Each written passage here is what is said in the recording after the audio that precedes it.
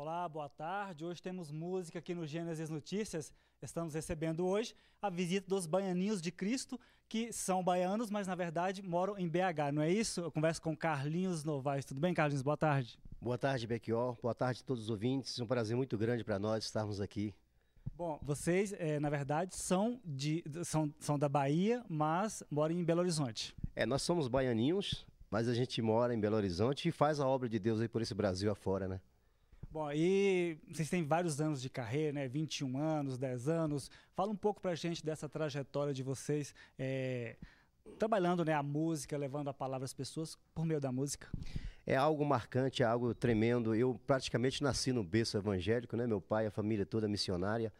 E desde criança que a gente louva a Deus. Eu tenho 22 anos de ministério, né? O índio tem 10 anos. É, ele é índio mesmo, para quem não sabia, da tribo Aimoré, né? E Deus resgatou a família dele, resgatou ele. E a gente anda por esse Brasil ganhando, cantando, adorando ao Senhor e pregando, ganhando almas para o reino de Deus, né? Tá bom então, pedi para vocês cantar já uma música para a gente que é Festa de Cristo. Vamos ouvir? Festa do Cristão. Né? Festa do Cristão, vamos ouvir.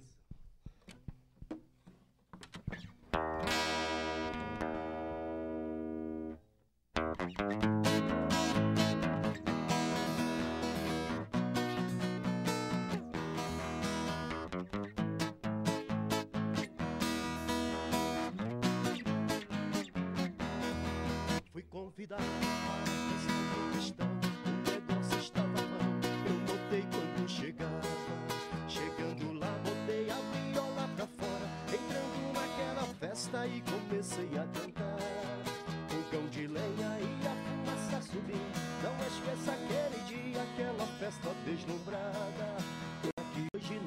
Ser diferente. A tristeza foi embora, que esta é a festa do crente.